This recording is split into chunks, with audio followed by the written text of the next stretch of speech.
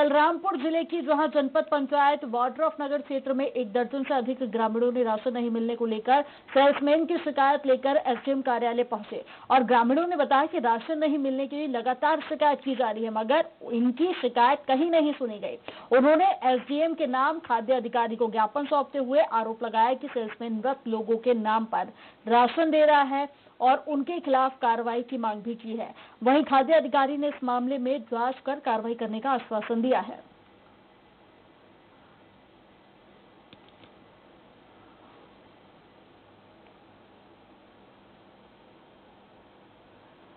तो मामला पूरा वार्ड्रोफ नगर का है, जहाँ पर राशन न मिलने से ग्रामीण काफ़ी ज़्यादा परेशान है और ये तस्वीरें भी आपको दिखा रहे हैं, जहाँ ज्ञापन सौंपा गया और साथ ही सेल्समैन के खिलाफ शिकायत की गई और साथ ही सेल्समैन के खिलाफ कार्रवाई करने की मांग भी की गई है। आपको बता दें कि राशन जो मर चुके हैं या जो मृत हैं, उनके नाम पर राशन आवंटित किया जा रहा है। पर जो इसके हकदार हैं, उनके हक पर डाका डाला जा रहा है और ये पूरा मामला वार्ड्रॉफ नगर से सामने आया है। और राशन के चलते और भी कई जगह से इस तरह की तस्वीरें सामने आ चुकी है, जहाँ सरकारी राशन पर भी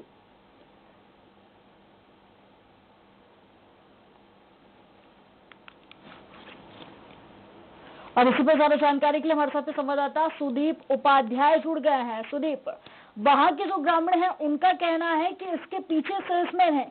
क्या ये पूरी जो कह सकते हैं कि जो डाका डाला जा रहा है ग्रामीणों के हक पर, सिर्फ़ उसका जिम्मेदार सेल्समैन ही है या किसी और की भी मिली भगत है? जी, ग्रामीणों ने जो आरोप लगाया है, ग्रामीणों के अनुरूप उनका सारा राशन सेल्समैन जो है वो खा जा रहा है। उनका कहना है कि अगर 35 किलो हितग्राही को अगर मिलना है तो 35 किलो के बजाय उनको 20 किलो 15 किलो 22 किलो इस टाइप से वितरण कर रहा है। तो कहीं ना कहीं सेल्समैन की भूमिका जो है वो आ, उनके राशन पे डाका डालने की है। जी। जी। और इससे पहले भी कई बार ग्रामीण गुहार लगा चुके हैं। क्या सुदीप अभी तक ये सामने आया है कि कितने महीने से ये सिलसिला इसी तरह से जारी है कि ग्रामीणों को राशन नहीं दिया जा रहा है पूरा?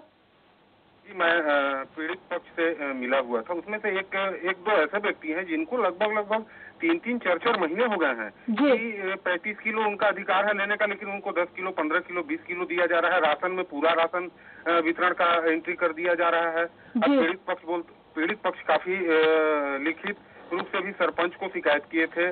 कल जो है वो एसडीएम कार्यालय पहुँचे हुए थे। एसडीएम साहब नहीं मिले इसके जगह पे। उन्होंने खाद्य अधिकारी को इसकी इसकी शिकायत की। जी। तो सुदीप क्या अभी तक किसी तरह की कोई भी कार्रवाई की गई है पूरे मामले पर?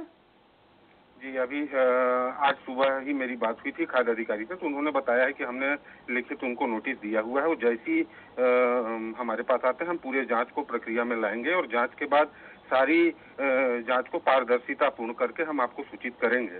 चलिए सुदीप आप नज़र बनाए रखिएगा। तमाम जानकारी साझा करने के लिए बहुत शुक्रिया आपका।